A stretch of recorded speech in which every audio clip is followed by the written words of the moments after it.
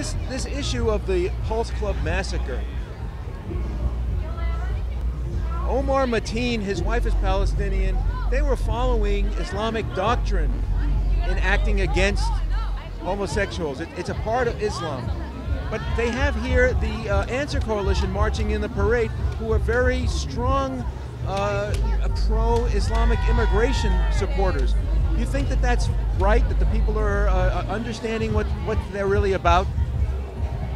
Look, I don't think that everyone simply because they're Muslim that means that they're not going to be supportive of LGBT rights. However, there is a problem that's going on in many Muslim majority countries when it relates to LGBT rights for people where it's legal if you're convicted of being gay to be killed.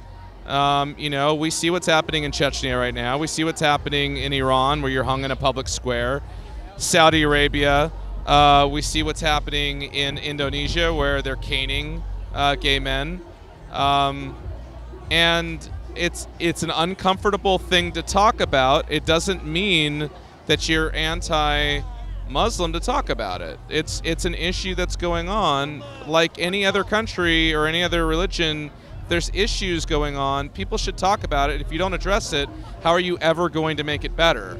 So I think that's something that it needs to be it needs to be talked about in a way that isn't condemning everyone who happens to be Muslim and is a relig- is a religious Muslim, but also says that there are universal rights and freedoms that we should all expect. And I think it was a missed opportunity this year um, that we could be talking about what's happening to our brothers and sisters around the world legally, legally in these countries where they're being we're being slaughtered, and we're not talking about that. Instead, we're talking about, um, you know, partisan political issues that are legitimate issues to talk about but have nothing necessarily to do with LGBT rights because when it relates to LGBT rights, there hasn't been a rollback of LGBT rights under the Trump administration.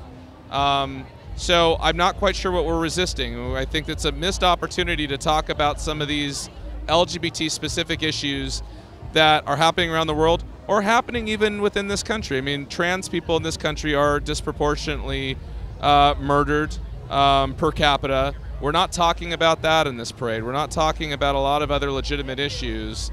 It's a missed opportunity in my in my opinion.